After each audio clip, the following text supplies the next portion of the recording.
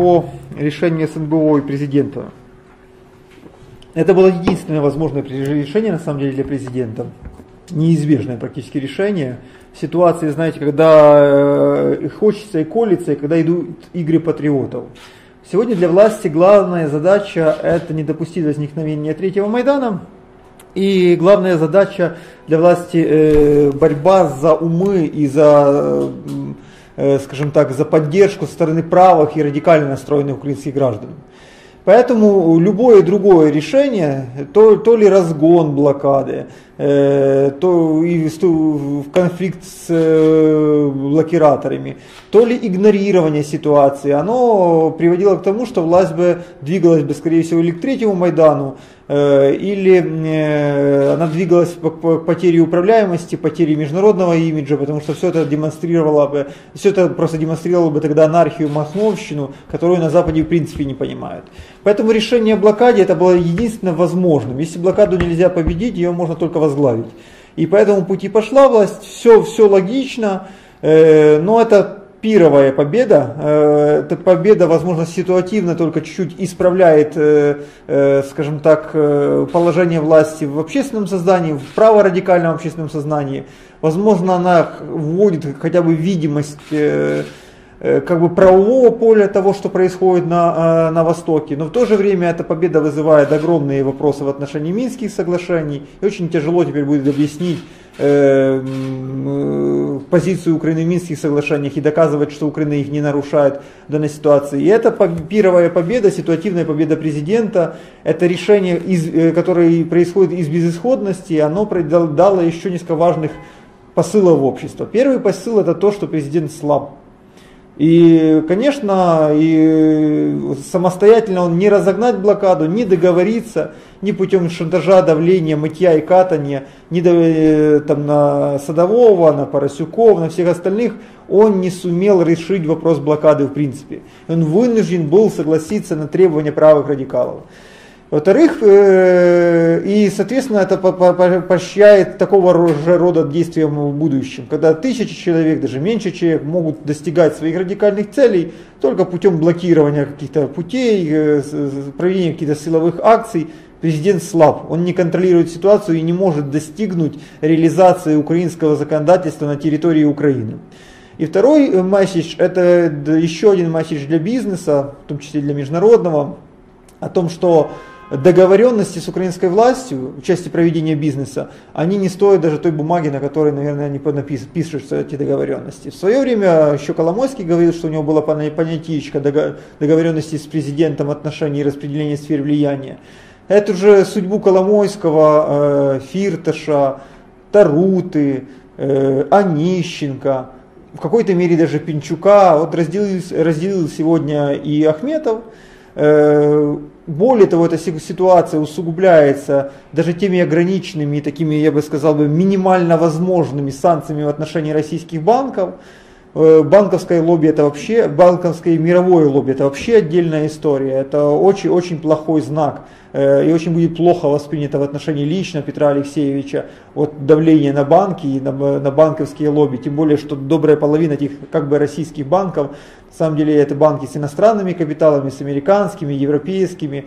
То есть это очень плохой знак для бизнеса о том, что в Украине бизнес вести невозможно, любой, даже договариваясь с властью, потому что ты рано или поздно окажешься или заложником политической ситуации, или тебя банально просто обманут, э, не выдержат, э, к сожалению, тех или иных договоренностей. Что касается российских, э, вот эти две, два, два знака, они в дальнейшем будут э, только усиливают дестабилизацию власти.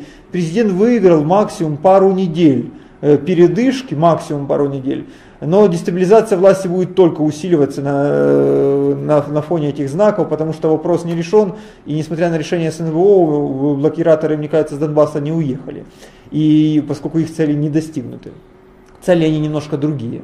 И как раз вот это блокирование, я считаю, как раз, э, наверное, э, сердцем и причиной этого блокирования э, это конфликт президента с бизнес-кругами украинскими, политическими кругами и попытка концентрации власти. Такой себе асимметричный ответ политика бизнес, политику бизнес-кругов Украины на попытку концентрации власти Порошенко. И главной целью этой блокады является безусловно, не, не, тогда, не Ордлоу.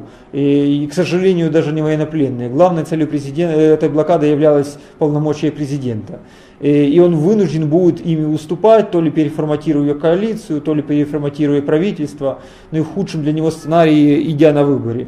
Притом, конечно, вот это заявление по выборам президента о том, что я не подарю вам выборы, но, знаете, я их продам. Да, да, я их продам, я слышал такой сценарий, но все же ты не можешь подарить то, что, чего у тебя нет.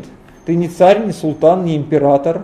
И если возникнут конституционные условия для проведения выборов, ты должен выполнять закон, принимать соответствующие законные решения. То есть и обосновывать принятие тех или иных решений. Но дарить то, что, то, чего у тебя нет, ты не можешь. Ты нанятый на, на работу сотрудник, э, находящийся под присягой. И мне кажется, что президент начал, к сожалению, об этом забывать. Что касается, э, поэтому нестабильность будет усиливаться. Что касается российских бан, банков и санкций в отношении них, это тоже э, единственно возможное и минимальное решение. По большому счету санкции не введены, те ограничения, которые задекларировал Национальный банк, реально на работу этих банков не повлияет. Единственное, что на них негативно повлияет, это та развернутая информационная кампания, которая провоцирует панику среди вкладчиков, которая паника, соответственно, приводит к оттоку капитала. Но на сегодня российские банки это как минимум 10% банковской системы Украины это как минимум 40 э, миллиардов депозитов, это как минимум 150 миллиардов активов. Если российские банки уйдут с украинского рынка и уйдут не по-хорошему, да даже и по-хорошему, будет нанесен достаточно серьезный урон украинской банковской системе. Мы можем столкнуться с теми же самыми процессами, с которыми мы имели э, дело в 2015-2014 годах, то есть девальвацией, инфляцией, банко- финансовой паникой. Поэтому я думаю, что Национальный банк до последнего, украинская власть до последнего будет пытаться этого варианта избежать. Э, радикалы свое давление, скорее всего, продолжат. Вопрос, в этот вопрос не закрыт. Э, э, российские банки в Украине воспринимаются как эхиллесова пята Кремля. Россия только за последних три года докапитализировала эти свои дочки на сумму более 4 миллиардов долларов. В, в кризис 4 миллиарда долларов было инвестировано. Эти банки являются, безусловно, инфраструктурой российского капитала и российского присутствия в Украине, и борьба с ними, безусловно, продолжится. Вопрос не закрыт. Причем это тоже такой элемент пировой борьбы, э, который, которая демонстрирует то, что э, ну, мы пилим сук, на котором сидим. Любая победа в этой борьбе будет еще большим поражением для Украины, э, нежели, нежели даже нынешняя ситуация. Парламентский переполох, э, тоже очень коротко, тут, наверное, лучше было послушать было бы тех кого-то из наших коллег, которые обслуживают парламентские фракции. Но все же, по моей информации, по тем планам, которые, которые есть, которые я видел, э, один из этих планов опубликовало издание «Страна.ua». То есть э, власть сегодня активно работает над возрождением коалиции, над возвращением в эту коалицию радикальной партии Ляшка. Есть разные, очень пока что обсуждается конфигурация этого возвращения, э, разные э, балансы, э, как бы, в, которые, и место, которое займет радикальная партия Ляшка в этой коалиции. Единственное, что фактически проходит э, сквозным через, через, через эти договоренности, эти переговоры, которые ведутся, это то, что э, радикальная партия Ляшка претендует как минимум на одного министра, серьезного министра, ресурсного министра, как минимум на руководящую должность э, руководителя парламента, несколько губернаторов. Конфигурации есть разные. Я видел четыре уже вида конфигурации, которые возможны в этом балансе.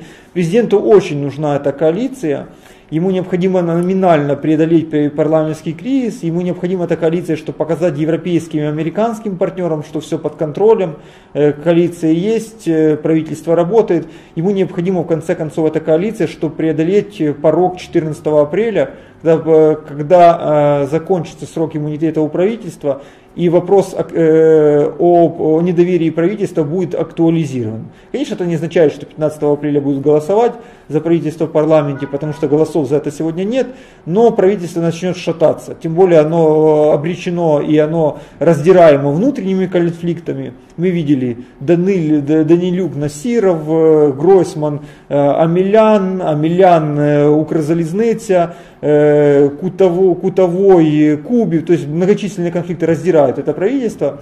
Это все, и, конечно, отсутствие парламентской коалиции делают это правительство еще более доступной жертвой э, для э, вот этой политической дестабилизации.